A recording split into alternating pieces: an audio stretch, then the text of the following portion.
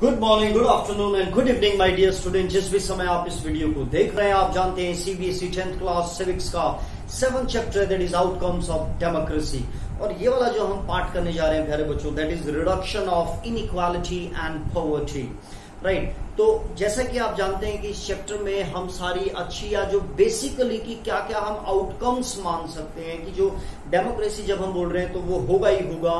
तो जैसे हमने लास्ट पार्ट में देखा था कि जो इकोनॉमिकल जो इनइक्वालिटी है ना, जो अमीर है, वो अमीर होता जा रहा है, कहीं ना कहीं जब हमने पूरे ओवरऑल एक कंट्री को हमने कहीं ना कहीं कंपेयर किया था डिक्टेटरशिप के साथ, और वहाँ पे हमने देखा था कि इसका आउटकम है कि कहीं ना कहीं हम लोग जो है वो पीछे हैं डिक्टेटरशिप जहाँ पर है उन कंट्रीज़ से।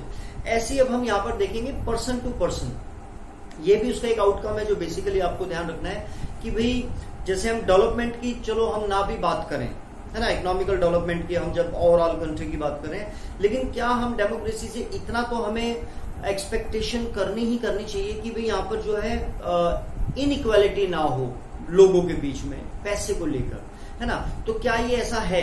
ऐसा बिल्कुल भी नहीं है। आप देखेंगे भारत में या किसी भी डेमोक्रेटिक कंट्री में, जो अमीर है, वो तो और भी अमीर होता जा रहा है। जैसे हमने इस पैराग्राफ में देखा था, जो लास्ट थ्री पॉइंट्स है कि जो टॉप वाले जो ट्वेंटी परसेंट है, वो सिक्सटी परसेंट के आसपास जो है नेशनल इनकम को अपने पास कब्जे में रखते हैं। तो इंडिया में भी कहीं ना कहीं ऐसा है, या और भी डेमोक्रेटिक कंट्रीज़ में ऐसा है, जो अमीर है, वो अमीर होता जा रहा है, और जो गरीब है, वो और गरीब होता जा रहा है। उनकी अपनी बेसिक जो नीड्स हैं उसको भी कहीं ना कहीं वो फुलफिल नहीं कर पा रहे हैं ना। मतलब कहने का ये है कि यहाँ पर जो क्वेश्चन उठेंगे कि क्या है परहैप्स मोर देन डेवलपमेंट यानी कि जो जिस डेवलपमेंट की हम बात कर रहे हैं डेमोक्रेसी में, उससे ज़्यादा रिड्यूस इकोनॉमिक डिस्पैरिटी यानी कि जो इकोनॉमिक पैसे को लेकर जो डिस्पैरिटी उसको रिड्यूस करे, ऐसी हम कामना करते हैं कि ये डेमोक्रेसी में होगा ही होगा।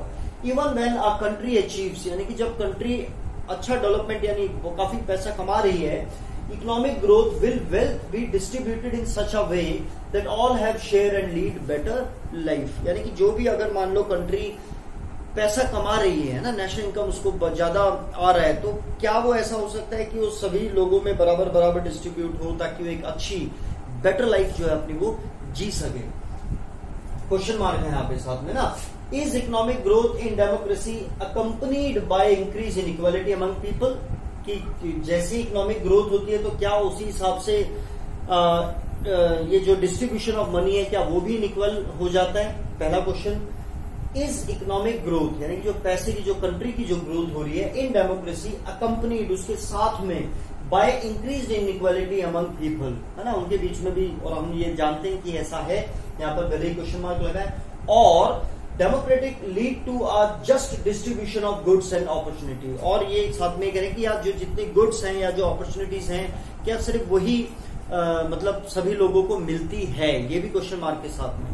प्यारे बच्चों भारत में हम कहीं ना कहीं पॉलिटिकल या भारत में या डेमोक्रेटिक कंट्री में कहीं ना कहीं हम पॉलिटिकल इक्वालिटी जो है वो आपको देखने को मिलेगी। वो एक आउटकम है दैट इज़ फॉर श्योर है ना? जहाँ पे भी डेमोक्रेटिक है, वहाँ पे one person one vote one value वो होगा ही होगा। जे जे रूसो नाइन्थ में आपने हिस्ट्री में फ्रेंच रेवोल्यूशन में वो पढ़ा है। है ना?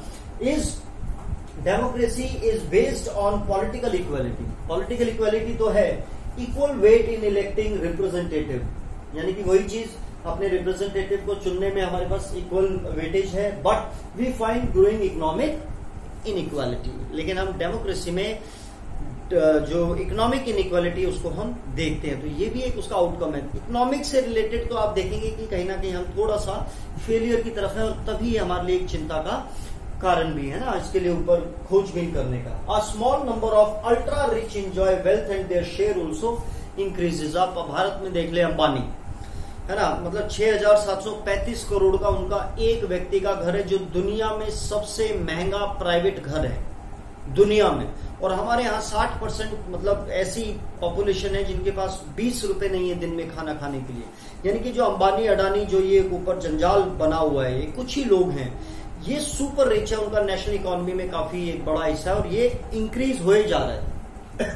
पैसे से पैसा कमाते हैं ना। तो जैसा आपने पिछली वीडियो में भी देखा तो आप भी जानते हैं कि आपके पास पैसा है तो पैसे से पैसे को इजीली कमाया जा सकता है। लेकिन जब हम बात करते हैं उन बॉटम में जो रहने वाले लोग हैं, वो कहीं ना कहीं अपनी बेसिक नीड्स को भी दोज एट बॉटम है very little to depend upon their income is declining इनकी तो इंक्रीज कर रही है अल्ट्रा रिच जो है, उनकी इनकम क्या है? डिक्लाइन कर रही है। Even find difficult to meet their basic needs और कहीं ना कहीं वो अपनी बेसिक नीड्स को भी फुलफिल करने में कामयाब नहीं हो बेसिक नीड आपको पता है, रोटी, कपड़ा और मकान। खाने तक के लाले उनके पड़े हुए हैं। और आपने ये नाइन्थ में भी देखा था, प्यारे बच्चों poverty in India so democracy is not very successful in reducing तो ये पूरी जो कहानी सुनाई है, यानी कि उसका एक आउटकम जो बताने की कोशिश की है कि that is not that much successful in reducing economic inequality in class nine poverty in India हमने जो चैप्टर देखा था, उसमें आपने पूरा देखा था कि भारत में किस तरीके से गरीबी जिन्हें अपने पाव पसार रखे हैं।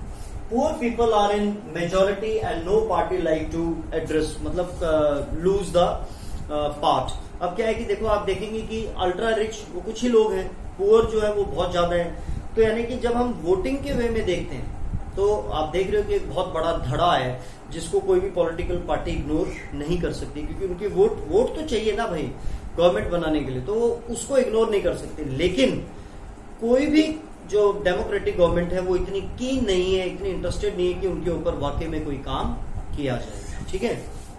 Poor people are in majority and no party like to lose these vote then also no democratic government is keen to address the problem of the poor और इसके अलावा ये जो सिचुएशन भारत में है, इससे ज़्यादा दयनीय स्थिति जो है वो और भी बाकी कंट्रीज़ में, जिसमें एक आपके बुक में एग्जांपल दिया दैट इज़ बांग्लादेश 60 परसेंट से ज़्यादा मतलब मोर देन हाफ़ है ना मतलब सेवेंटी भी हो सकते हैं। वो पुअर कैटेगरी में जी रहे हैं वहाँ पर, है ना तो मतलब डेमोक्रेटिक और कहीं ना कहीं मतलब मोर देन हाफ़ है ना तो सेवेंटी परसेंट एट्टी परसेंट इतना आंकड़ा है, जो एग्जैक्ट नहीं दिया था। Situation is worse in other countries like Bangladesh people in several poor countries are dependent on rich countries even for food supply अब खाने तक के लिए जो पुअर कंट्रीज़ है, वो रिच कंट्रीज़ के ऊपर कहीं ना कहीं डिपेंड करते हैं। और आपको प्यारे बच्चों, पता होगा कि लाल बहादुर शास्त्री जी जो हमारे सेकंड प्राइम मिनिस्टर थे तो हमारे पास अमेरिका से एक गेहूँ आता था लाल कलर का, वो वहाँ पे जानवर खाते थे तो वो हमारे, क्योंकि हमारे पास उस समय क्योंकि हमारी पॉपुलेशन बढ़ रही थी और हमारे पास खाने के प्रॉपर संसाधन नहीं थे, फ़सल इतनी हमारी अच्छी नहीं थी तो तब जाकर उन्होंने ग्रीन रेवोल्यूशन है ना, हरित क्रांति, वो स्टार्ट की थी और उसके बाद आप देख रहे हैं तो मतलब कहीं ना कहीं एक चीज़ और आप देखेंगे कि डेमोक्रेसी में एक चीज़ अगर आपको मिल जाती है, यानी कि एक चीज़ में आप कहीं ना कहीं संपन्न हो गए तो आपका नेक्स्ट टारगेट हो जाता है। तो बड़ी डायनेमिक है डेमोक्रेसी मतलब सेटिस्फाइड नहीं होती है। एक चीज़ अच्छी होगी तो अब ये होनी चाहिए, अब ये होनी चाहिए। आगे आप इसको इस तरीके से देखेंगे भी और आप इस चीज़ को जानते भी हैं।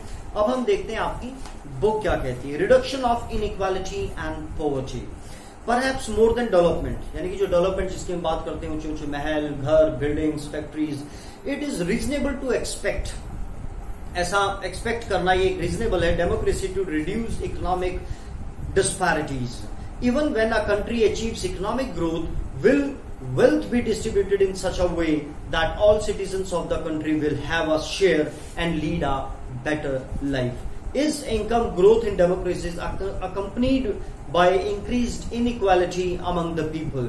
Or do democracies lead to a just distribution of goods and opportunities?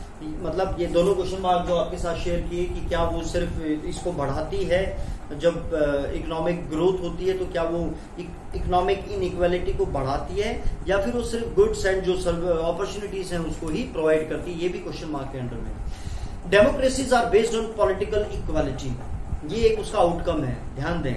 अगर आपसे पूछा जाए what are the outcomes of democracy तो उसमें आप ये भी लिख सकते हैं democracies are based on political equality all individuals have equal weight in electing representative parallel to the process of bringing individual into the political arena on an equal footing we find growing economic in है ना? यहाँ पर हम कहीं ना कहीं जो है बढ़ रही है जो मतलब स्टेगनेंट नहीं है, वो बढ़ रही है, क्या? इकोनॉमिक इन ये भी हम साथ में देख रहे हैं। Small number of ultra rich enjoy a highly disproportionate share of wealth and income मतलब उसको आप अंदाज़ा नहीं लगा सकते कहा एक घर दुनिया का सबसे महँगा।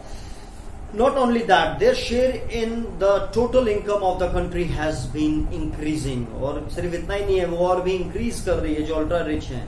those at the bottom of the society have very little to depend upon. Their income have been declining. Sometimes they find it difficult to meet their basic needs of life, such as food, clothing, house, education and health. रोटी कपड़ा मकान तो है ही है साथ में health and education ये भी बिल्कुल बेसिक जो चीजें आपने एच देखा होगा in actual life democracies do not appear to be very successful in reducing economic inequality. In chapter 9, uh, sorry, in class 9 economic textbook, you have already studied about poverty in India. The poor constitute, constitute a large proportion of our votes and no party will like to lose their votes. Yet, democratically elected government do not appear to be as keen to address the question of poverty as you would expect them to. है ना जैसे हमने देखा था कि जो government है democratic elected government है, वो कहीं ना कहीं जो पीपल की डिमांड है, जो उसकी एक्सपेक्टेशन है, उस पर भी हमने देखा था ना कि उनका मिक्स है। मतलब बहुत ज़्यादा सक्सेसफुल नहीं है। तो nobody is keen to address the this issue कि जो गरीब हैं वो और गरीब होते जा रहे हैं, इसको किस तरीके से ठीक किया जाए। जबकि एक बहुत बड़ा वोट बैंक जो है वो वो खुद अपने आप में है, जो पुअर कैटेगरी है। The situation is much worse in some other countries In Bangladesh, more than half of its population lives in poverty. People in several poor countries are now dependent on the rich countries even for food supplies. यानी कहीं ना कहीं खाने तक के मतलब इतनी problem है कि वो उसके ऊपर वो शेयर कर रहे हैं आपको ये बहुत अच्छी तरीके से अगर हम वर्ल्ड की बात करें तो ये पिक्चर आपको कहीं ना कहीं दिखाएगी कि ये एक कुछ लोग जो है फिफ्टी परसेंट जो है उसके पास पूरा शेयर है और बाकी जो टू परसेंट है दैट इज़ हेयर है ना? वो मतलब इसको इस तरीके से समझाने की कोशिश की गई है। नेक्स्ट हम देखेंगे accommodation of the social diversity और ये उसका एक पॉजिटिव एस्पेक्ट है कि आपने बेल्जियम में देखा है। किस तरीके से जो एकोमोडेट करते हैं। इंडिया में आप देख रहे हैं इंडिया से बेहतरीन और कोई उदाहरण नहीं आपको मिल सकता है, लेकिन फिर भी कहीं ना कहीं किस तरीके की प्रॉब्लम्स रहती हैं और हमें उनको किस तरीके से निजात पानी चाहिए और हम उसमें पाने में उसमें कामयाब भी हैं। तो वो हम देखेंगे एकोमोडेशन ऑफ़ सोशल डाइवर्सिटी बहुत ही छोटा सा आपका टॉपिक है। इसके बाद नेक्स्ट टॉपिक भी काफ़ी छोटा है। कोई भी डाउट है, कोई क्वेश्चन है please ask feel free God bless you all love you all